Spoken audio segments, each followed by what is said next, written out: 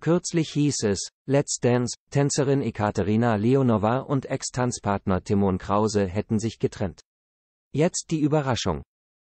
Die große Let's Dance Tour 2023 hat begonnen. Am 7. November startete das Spektakel in Riesa. Heute, am Donnerstag, den 9. November schwingen die Profitänzer, Innen und Promis in Leipzig ihr Tanzbein.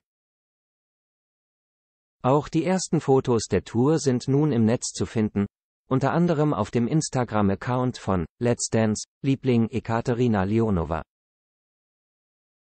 Am Mittwoch präsentierte die gebürtige Russin nach der Auftaktshow erste Schnappschüsse.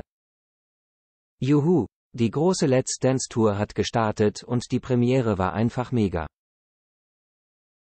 Dazu habe ich endlich mal wieder die neuen Fotos, die ich euch zeigen kann, so die 36-Jährige. Auf besagten Bildern, die sie dazu teilte, posiert Eckart in einem aufregenden weißen Glitzerkleid mit vielen Aussparungen, die viel nackte Haut hervorblitzen lassen. Ihr seht mich sonst immer ungeschminkt vor dem Spiegel. Jetzt gebe ich euch etwas für die Augen, so die Tänzerin stolz. Ekaterina Leonva postet erste Fotos der Let's Dance Tour 2023. Timon Krause reagiert sofort. Besonders aufregend ist Foto Nummer 2, auf dem der schöne Tanzprofi vor einer roten Wand posiert. Die langen Beine, der durchtrainierte Bauch und das Dekolleté, alles ist gekonnt in Szene gesetzt. Ekat Partnerin du bist Bombe, die Fotos sind absolut umwerfend, oder, du siehst mega aus, heißt es in den Kommentaren. Doch etwas anderes sticht viel mehr ins Auge, denn, ein alter Bekannter hat Ekaterina Leonova ein Like dagelassen.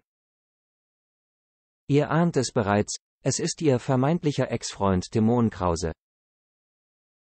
Nun könnte man ein Like auf Instagram zwar als Nichtigkeit abtun, doch ein ehemaliger Partner oder Geliebter, von dem man sich erst kürzlich getrennt hat. Würde wohl kaum seine virtuelle Bewunderung für so heiße Schnappschüsse da lassen. Im digitalen Zeitalter kann die kleine Geste viel eher als regelrechtes Statement verstanden werden.